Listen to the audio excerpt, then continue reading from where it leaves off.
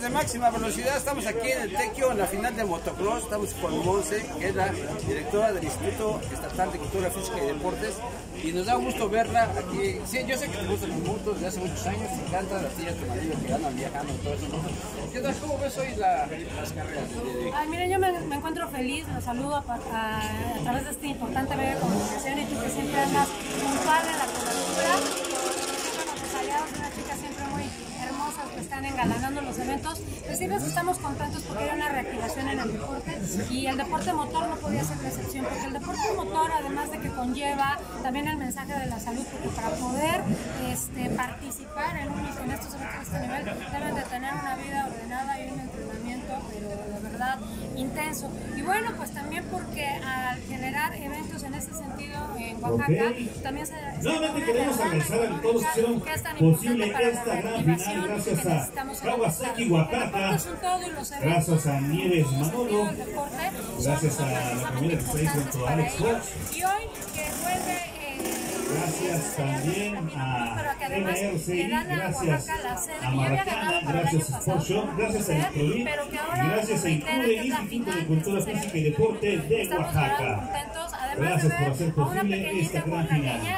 Anina Torija, que bueno, subcampeona de este serial, que la verdad, este, bueno, vamos a esperar los resultados oficiales, pero estamos ciertos de que eh, al menos subcampeona sí lo es, con nueve años de edad, con esa entereza y esa calidad que tiene como motociclista, toda su familia, por lo que involucra. Estamos muy contentos, estamos viviendo esta fiesta en el Tequio, en familia, este, pasando un domingo divertido, eh, eh, trepidante, porque la verdad es que hay nivel impresionante, hay categorías y ramas.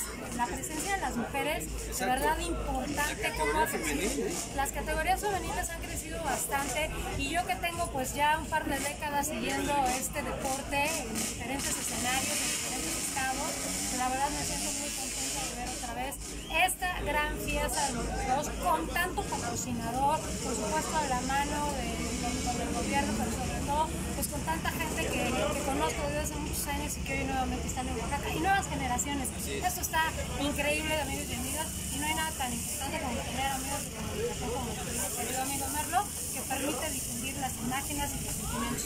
Hace un rato un homenaje muy sentido eh, a nuestro maestro Gaspar, quien ha sido un- toda una institución en el motociclismo, nacer y crecer a precisamente Aldo de la Tejiga, quien es quien trae ahorita este, este serial, y a muchos de los que están aquí, en, en lo particular hasta viajes, los aventamos juntos en moto, y la verdad es que lo recordamos por su calidad humana, por el gran motociclista que fue y por la gran persona y maestro y el legado que tiene, así que pues se conjugan muchos sentimientos hoy aquí en este, en este evento. La verdad es que eh, yo ahorita vi la categoría infantil, bastantes niños, y la categoría femenil, que de verdad cada vez hay más chicas.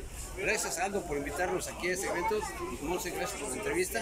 Ya después retomaremos del instituto de algunas Actividades, sí, porque ahorita toda- hoy todavía estoy en veda, pero a partir del lunes les vamos a contar mucho de lo que está sucediendo con la delegación oaxaqueña, con un hecho histórico de su presencia en los Juegos Nacionales, ya están en la etapa nacional, y de hecho ya tenemos las Pues sí puedo primeras medallas. mañana, Sí, sí, sin problema. Este, de hecho ya puedo, o sea, al final el deporte camina y nosotros tenemos que hacer, seguir haciendo la parte que corresponde, y las delegaciones ya están en tránsito, y la selección Oaxaca de triatlón ya entregó las cuatro primeras preseas. Cecilia Sayuri lo vuelve a hacer, se pone otra vez en el podio con la medalla de oro. Y ahora también Huatulco, ya después de haber trabajado mucho en el triatlón, consigue una medalla a través de la selección de. Y la verdad es que estamos contentísimos porque así se abrió el medallero para Oaxaca en los Juegos Nacionales y los que se siguen. Perfecto, pues muchas gracias, Monse. Ya este, te debo de un programa completo para que. Para que tu. No, no, no es cierto. Muchas gracias, Monse. La comunidad deportiva. ¡Buena vibra! Nos vemos.